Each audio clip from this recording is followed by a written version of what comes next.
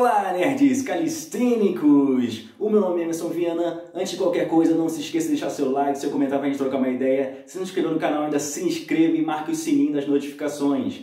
Nesse vídeo eu vou falar sobre alguns filmes que estreiam nos cinemas brasileiros nesta semana.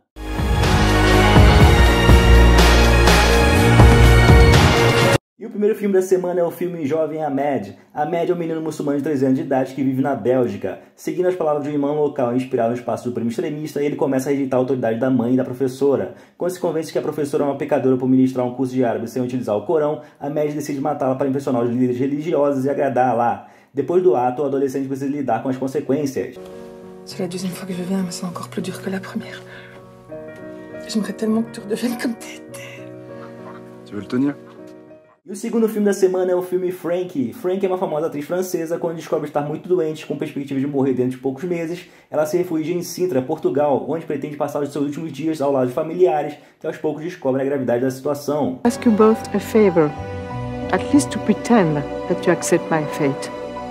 For the sake of this trip, for today, for the family. E o terceiro filme da semana é o filme Luta por Justiça. Brian Stevenson, um advogado recém-formado em Harvard que abre mão de uma carreira lucrativa em escritórios renomados da costa leste americana para se mudar para o Alabama e se dedicar a prisioneiros condenados à morte que jamais receberão uma assistência legal justa. Ao chegar lá, Brian se depara com o caso de Walter Macmillan, um homem negro falsamente acusado de um assassinato, mas que nunca teve uma defesa apropriada por conta do preconceito racial na região.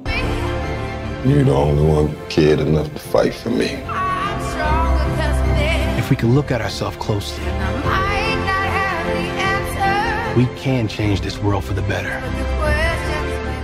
E o quarto filme da semana é o filme Chamado da Floresta. Depois de anos vivendo como cachorro de estimação na casa de uma família na Califórnia, Buck precisa entrar em contato com seus instintos mais selvagens para conseguir sobreviver em um ambiente hostil como o Alasca. Com o tempo, seu lado feroz se desenvolve e ele se torna o grande líder de sua matilha, baseado no livro homônimo de Jack London, lançado em 1903. About an adventure beyond all maps. We could go, you and I, no one's ever been before. See what's out there. E o quinto e último filme da semana é o filme Dolittle. O Dr. Dolittle vive com uma variedade de animais exóticos e conversa com eles diariamente. Quando a jovem rainha Vitória fica doente, o excêntrico médico e seus amigos peludos embarcam em uma aventura épica em uma ilha mítica para encontrar a cura.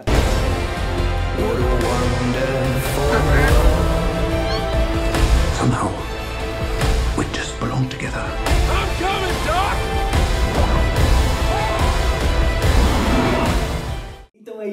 Esses foram os filmes que eu selecionei para essa semana. Espero que tenha gostado. Valeu, até a próxima.